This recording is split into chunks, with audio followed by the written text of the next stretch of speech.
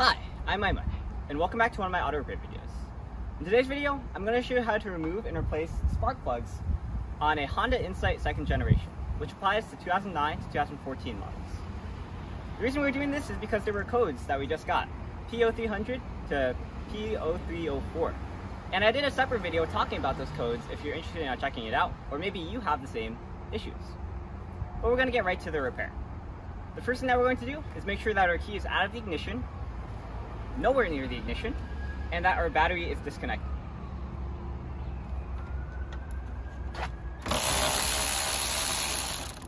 Okay, so let's take that out, and let's cover it, just to make sure. Okay, so next we're going to go to the engine, and we're going to take off the manifold cover. So to do this, you just simply pry it off. And uh, this is how it goes on. You can see that there are these two uh, um, pins that go in these two holes. So you just pull them out. And we're going to set that aside. So before we continue, there is something unique about this car, this model of car, that you should know.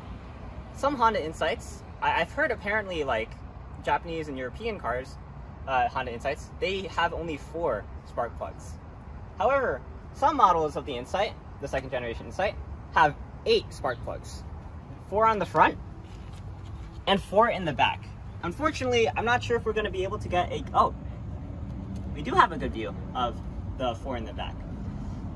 Unfortunately, I will not be able to show you how to remove them in the back because it's a very hard uh, angle to fit. But if you're replacing your spark plugs, you should do all eight. And you should check if your car model has eight spark plugs or four before you continue. So here's the general procedure. So we're going to take a look at an ignition coil. So this is an ignition coil right here. We're going to uh, detach the cable. We're going to pull it out, and you can either use your, your hand to pull it out or pliers if it's really hard. And then we're going to use a wrench to take out this, uh, I believe it's 10 millimeter bolt. And then we're going to pull out the ignition coil, and then we're going to loosen and remove the spark plug. It's up to you if you want to do them uh, one at a time or all at once, but I suppose since we're here and we're, we know that we're going to replace all eight of them, we're just going to do all of it at once. So let's pull this out.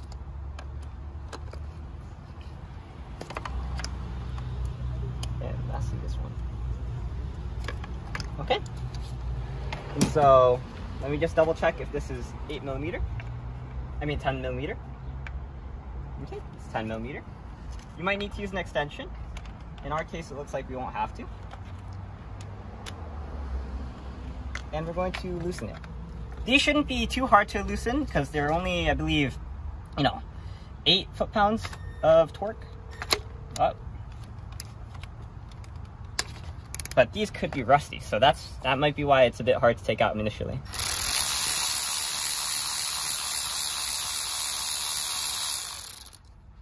So this is what one of the bolts looks like. And you want to store that somewhere safe. While we're here, before I continue, I'll take out the ignition coil and show you what it looks like. Gently pull it out. And that's what the ignition coil looks like.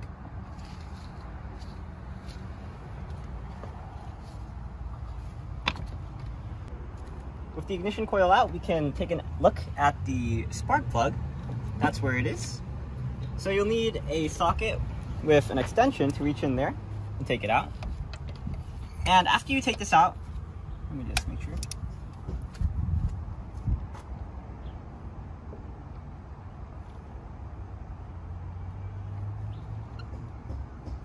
Okay. I'm being very gentle right now because I don't want to break anything.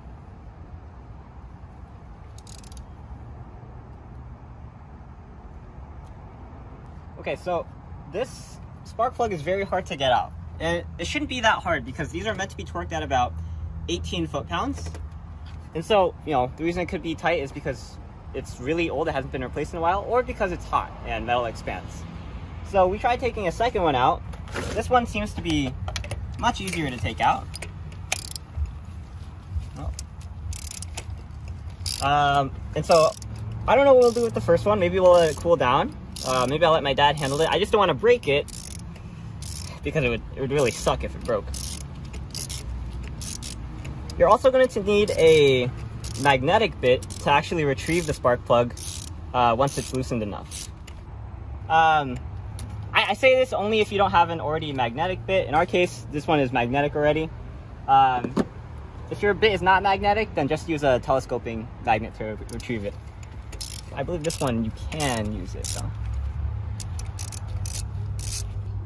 Okay, let's just take this out. This is at this point.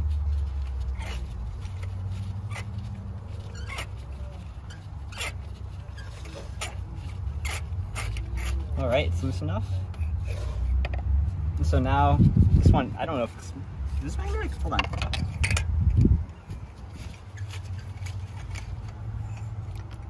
There we go.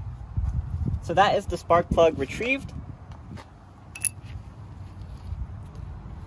Looks okay. I mean, it is a bit dirty, a bit corroded. Um, but as far as like, compared to the worst case scenarios, it's not super dirty, it's not super ruined, so it looks okay. But it definitely is good to replace uh, the spark plug. Definitely after the many miles this car has. So one thing you want to do after you take out the spark plug, you want to make sure that these holes don't get contaminated. You have two options. One of them is to cover them up with a paper towel. You know, stuff a paper towel inside this, prevents any contaminants from getting inside it. Another option is to use compressed air and blow out um, the hole to make sure that there are no contaminants inside it when you replace the spark plug. Okay, so apparently, my dad wanted to say, apparently that whole blowing air thing is a huge point of contention. A lot of people will fight about it. Um, and so, just to be sure, you can either use a paper towel and stuff it in, full sheet. Make sure it's a clean paper towel, of course. And you want to roll it up and just stuff it inside there to make sure no contaminants can, can get into it. Another option you have is to simply take the ignition coil that we just took out and cover the hole with it. That way, no contaminants can get into the hole. Right, just for good measure, I'm going to do one more on camera.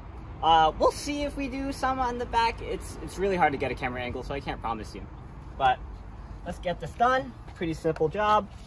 Uh, we need to get this done as fast as possible so we can get to AutoZone and uh, and uh, get the replacement. This is not going to fit. I need an extension. There we go.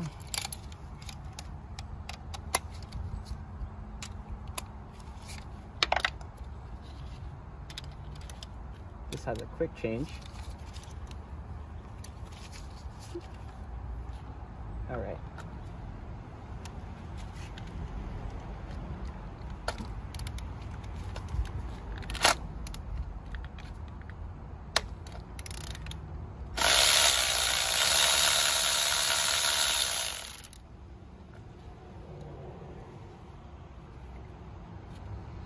Also, make sure that your parts don't fall off. Very easy to lose this. It's supposed to go right here. Make sure that's in place. We put this aside. Take this out.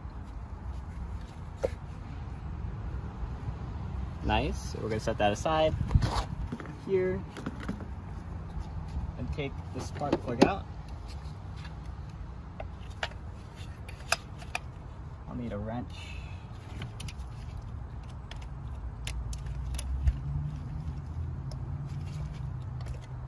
Okay. And eventually when it's loosened, when it's loose enough, then I can take the wrench off and just loosen it by hand. Okay.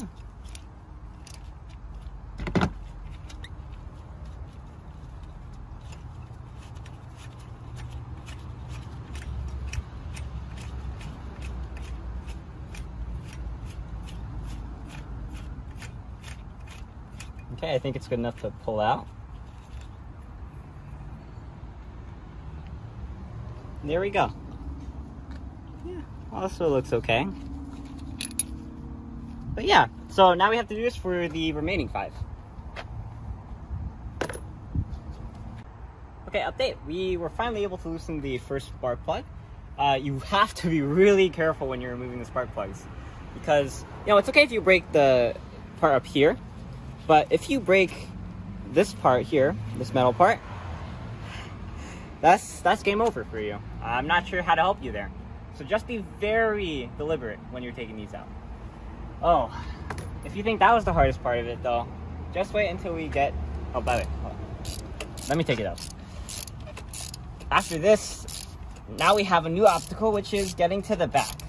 And I imagine that we're gonna have to use a um, extension with a manual uh, wrench to actually uh, not even to get the spark plugs out, which is going to be even hard, but to get just the uh, the bolt for the ignition coil out.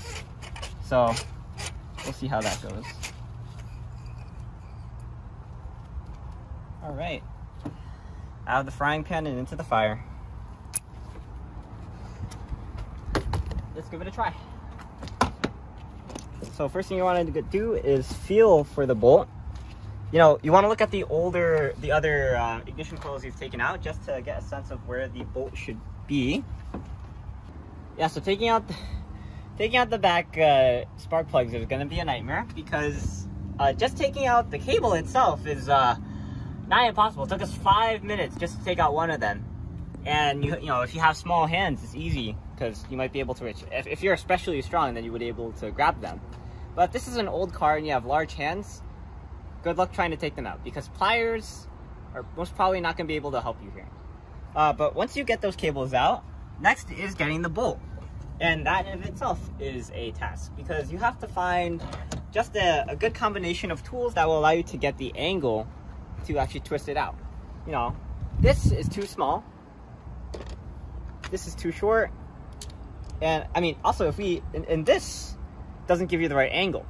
You need to find a set of tools that is just the right length and also has um, a bend in it so that you can have the right angle to twist it out. So now we're going to take out the bolt.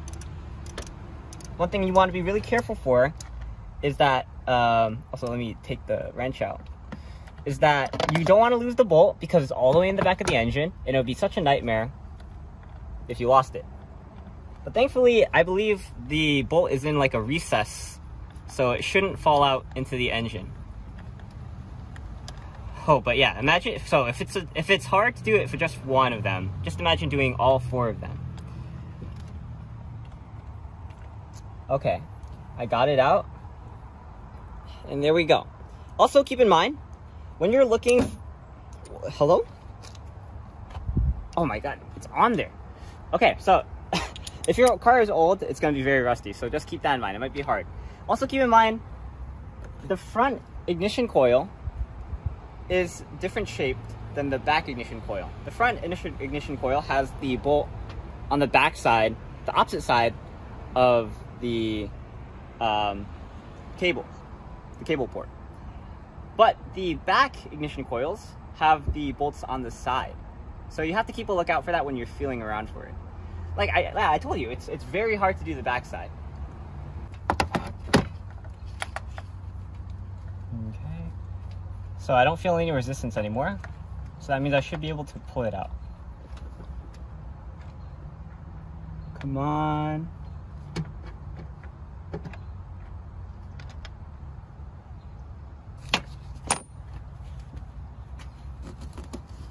Okay, let's give this another try. All right, let's try taking it out.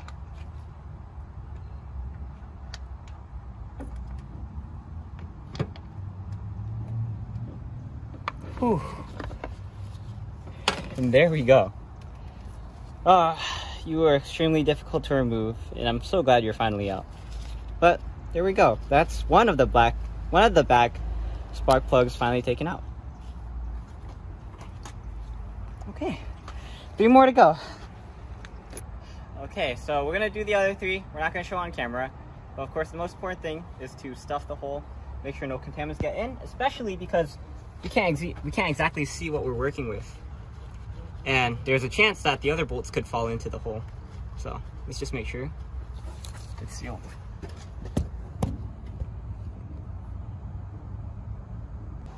Okay, so we got all the spark plugs out. Uh, one, at one point we encountered a problem with taking out a stripped bolt. Um, where is the stripped bolt, actually? Oh, right here. And so we actually had to use uh, one of these bolt puller sets. I think I did a video on this actually. Go check that out if you're interested. But we had to use it to take this out. Not sure if they sell replacements at AutoZone, so best thing we can do is instead of putting this on the back where it's going to be hard to get out next time, we'll put it on the front side instead. But like I said, in summary, to take out the back side, uh, you have to use an assortment of parts. Uh, if you want to use the wrench from the front side, you would try to uh, insert the um, the five inch the five eight inch socket in the back, then put the wrench, and then angle it so that you can take it out. Or your alternative is to take a wrench that's small enough and go from the back. So simple as that. Because it's getting dark out right now, I'm not going to do installation in this video, if we do an installation video. But it's um, pretty simple to reinstall it. You just have to make sure that you torque everything properly. If you're interested, to torque the spark plugs, it's 25 newton meters or 18 foot-pounds. To torque the bolts that go off the ignition coil, it's um, 8 newton meters or 6 foot-pounds. Alright, so we're going to go to AutoZone and get replacement spark plugs, um, and that's where I'm going to close the video. I'm Aiman, and thanks for watching. Uh, today I showed you how to remove, sadly not replace, uh, in this video, uh, the ignition coil and the uh, spark plugs on a second generation Honda uh, Insight, which also applies to 2009, 2014 models. Thanks for watching. Please, please like, rate, comment, subscribe, and look at videos on Aiman, and I'll see you there. If you're interested, go check out that video on the P0300 code to P03304, and I'll see you there. Uh, we're also while we're, while we're here, we're also going to check the ignition coils to make sure that they're working. So we're also going to do a video on how to check them using a multimeter.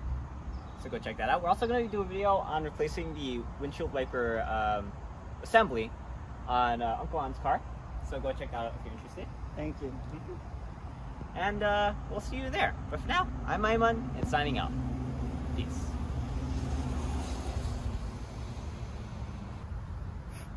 Okay, also, one thing, you can make it easier by putting the ignition coil on the ground and then being able to use your two hands to measure it. Uh, this one also measures 1.84. That's interesting that it measures differently depending on um, which terminal you use. Okay, so I'm going to do just like I did the uh, first one. I'm going to insert the extension and the wobble bit first.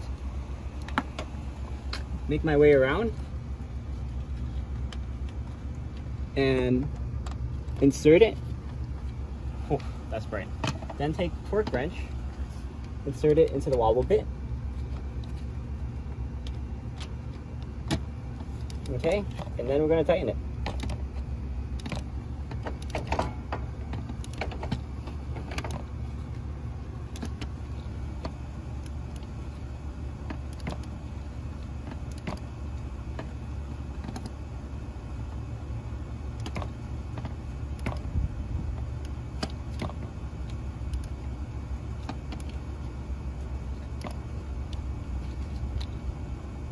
Oh, let me just check to make sure that it's still at 13 foot-pounds. There we go. It's torqued at 13 foot-pounds. And now we can install, now we can take out the torque wrench first. And then the rest of the uh, extensions. So you have to do this every time for all four of the spark plugs. So you can see how annoying it gets when you're working in the back.